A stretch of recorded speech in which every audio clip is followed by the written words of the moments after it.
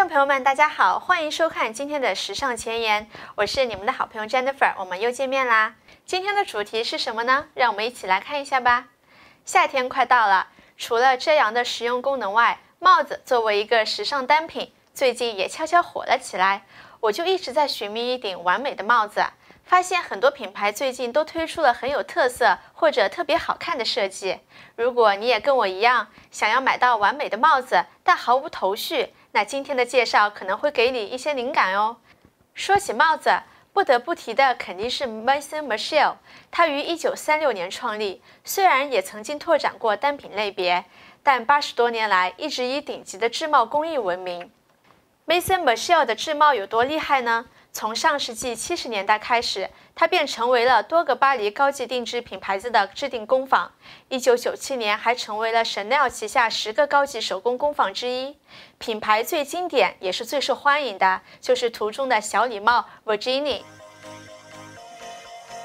当然，如果经典的 Virginie 你已经有了，那今年夏天可以看看 Maison Margiela 棕榈草编织的款式，非常适合度假时候戴，而且质感真的特别的好。平顶帽子更加优雅可人，有法式浪漫的感觉；大檐软顶帽更加随意洒脱，搭配衣服更加随性。不同的帽子根据它的特点，哪怕是同一件简单的衣服，都能营造不同的造型。除了这些优雅甜美的款式之外，Maison Margiela 还有带小耳朵、非常个性的 Jamie，也很值得尝试哟。它在传统棒球帽的基础上进行了新的设计，反而有点像马帽。不加拼接的流线型设计，让帽顶看起来一气呵成，非常有立体感。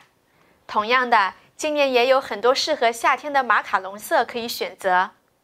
说到平时最常见的棒球帽，其实今年超级火，很多品牌这两季都推出了带有自己品牌特征的棒球帽子，例如今年 Burberry 推出的尼彩条纹棒球帽。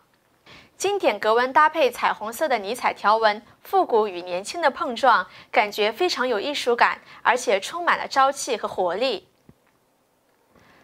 Balenciaga 最火的一款帽子就是它的 logo 了，这款帽子深受年轻人的追捧，可谓是明星同款啊。Valentino 最经典的就是铆钉元素了。这一季除了衣服、鞋子、包包有铆钉设计外，还可以配上一个铆钉的帽子。当然，如果你不喜欢 Valentino 铆钉的设计，或者可以选择野性风格的 Versace 黑色皮质棒球帽，搭配标志性金属 logo，有种蒸汽朋克感，酷劲十足，但又不乏奢华的感觉。如果你觉得这些帽子单价过高，或是太过浮夸，也有非常平价的适合日常的小潮牌可供选择。无论是凹造型，还是你没洗头，都是力争时尚上游的小利器哦。接下来要给大家推荐的第一款，同样来自 Burberry，以裸肤色为主色调的格纹，搭配起衣服来也很有轻松愉悦的度假感，随性中还透露这些文艺。最近大火的 Gucci 渔夫帽也特别受欢迎。这款帽子其实介于渔夫帽和宽檐帽之间，非常个性。真丝材质加下垂的帽檐，反而有种斗笠的即视感，看起来带点禅意。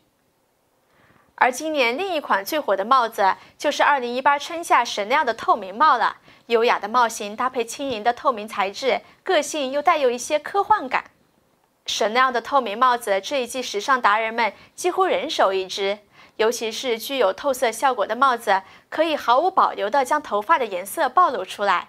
如果恰好你有一头与众不同的发色，那么就非常完美了。在帽子的帽型上，宽檐帽是相对实用的款式，不仅可以有效的遮住一些阳光，而且宽檐帽的比例很容易遮住脸，显得你的脸特别的小。宽檐帽中最具代表性的就是这种编织的大草帽，编织草帽非常的多，但是要找到设计特别、质感好、不扎手的款式，其实还挺值得收藏的呢。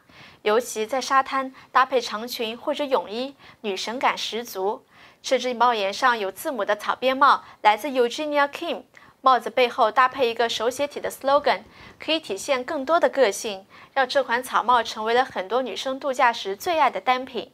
因为从背后照照片真的特别的好看。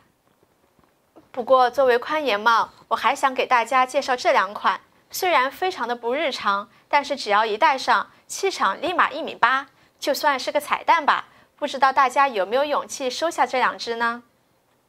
今年另一个悄悄火起来的帽型就是海军帽。香奈儿二零一八早秋的整场大秀，每位模特都戴了一顶海军帽。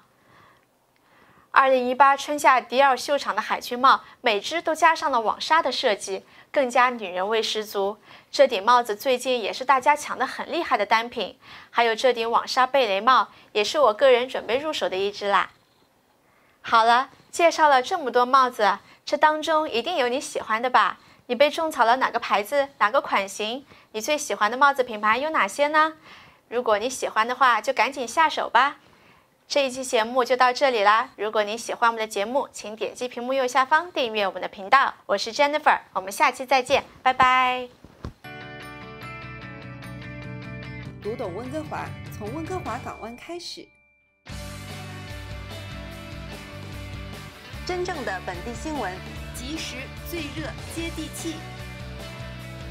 玩玩乐乐温哥华，大温一周好去处，各类本地休闲娱乐资讯。舌尖上的温哥华，BC 贝原创美食微杂志，打造温哥华美食地图。温哥华港湾，大温最火的中文网站。